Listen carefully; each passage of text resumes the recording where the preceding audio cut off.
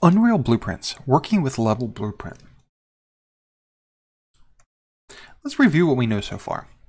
Blueprints is a visual scripting language included in Unreal. Each blueprint, which we create as a subclass of an existing class, an actor, within a particular level, includes graph, which are collections of nodes, nodes, which are defined functionality.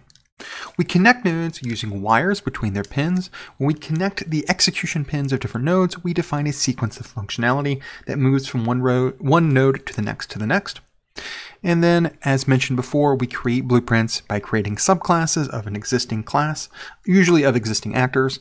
And this allows us to respond to different events using the event graph that is built into all existing blueprints, as well as we can create variables, functions, and event dispatchers, as we've covered in previous videos.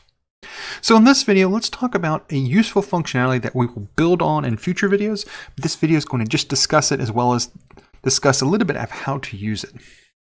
So each level has its own blueprint, which kind of makes sense. Everything within Unreal has a corresponding blueprint you can create. You can create a subclass of anything you can create it within Unreal, and this includes the level itself. So all levels have their own blueprints. So this is built into every level. When you create a new level, it automatically has its own blueprint. And we can access this blueprint by going to Blueprints, Open Level Blueprint, if the level is already open within the Unreal Editor. And just because it's like every other blueprint, we can also add our own variables, functions, event dispatchers, and a number of other things. We use it as if it was any other blueprint. However, unique to the level blueprint, blueprint is the ability to easily reference content and actors in the level. So one way to think about this is within the metaphor of the level blueprint having access to all of the actors within it. We can very easily reference things instead of needing to create a variable and then create a reference, create an, actor reference, or create a reference to that subclass. Instead, we can select an actor in the world outliner, open the level blueprint, and immediately use that reference to that actor. So one way to think about this is the level blueprint being sort of above and the actors being below, even though that isn't technically the case. So as mentioned before, with this sort of metaphor of the level blueprint being above or having access to all the actors within the level, this allows us to very easily communicate with and pass data between other actors. So instead of those actors necessarily needing references to each other, they could potentially we can potentially from the level blueprint uh, level from a level blueprint uh, layer communicate down to things uh, like other actors. Now we can't communicate up, which is a little bit tricky. So other actors don't have reference to the level, but the level has reference to other actors. So potentially if things are occurring at the level layer, things like triggers, or we need to reference something, or we need to load something within the level, we can correspondingly spawn off different things, or communicate, or use custom events or event dispatchers from the level blueprint layer down to the actors. But again, the actors can't go up, which of course makes perfect sense. So the level blueprint is a great place for code that references multiple other actors.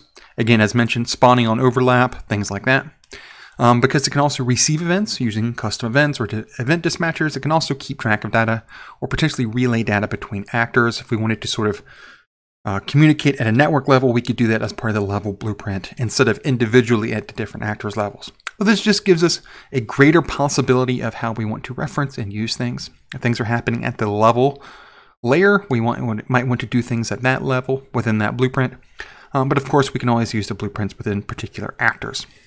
So let's look at Unreal about accessing and using the level blueprint.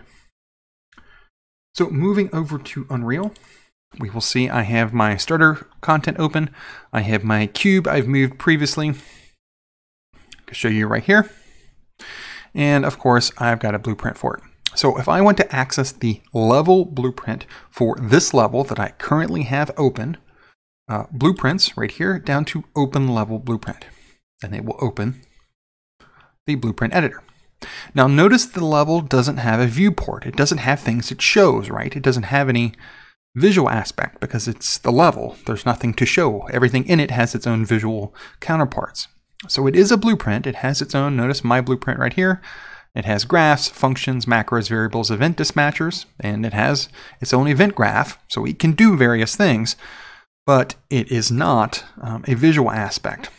Now, as mentioned before, we can easily access existing actors within the world outliner when moving over to the level blueprint. So let's look at that here. So let's say I want to reference this cube right here. So my cube is selected. And then let's say I had previously selected the cube and now I want to do something with the floor. So I've selected floor over here in the world outliner, my little floor right here. And now I want to do something with it in the level blueprint. So let's reopen level blueprint. Okay. I'm going to right click, so right click to add nodes. And then notice right here, it says add event for floor, call function for floor, create a reference to floor. So whatever we have selected within the world outliner will automatically be selected within the level blueprint. This is incredibly useful for, as mentioned before, creating things that happen at the level blueprint layer, such as spawning things on overlap, using various network functionality, anything that might need a direct reference to that, we can just create. Notice we're not creating extra variables, we're just automatically creating a reference to it that only exists within the level blueprint layer.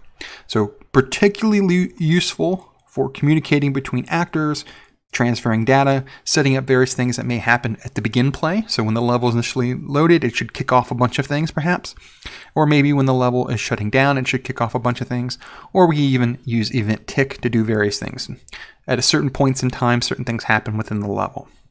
So all these are particularly useful in things we can use that exist within the level blueprint. And again, we access it through blueprints and then open level blueprint for that corresponding level, assuming the level is open within the Unreal Editor.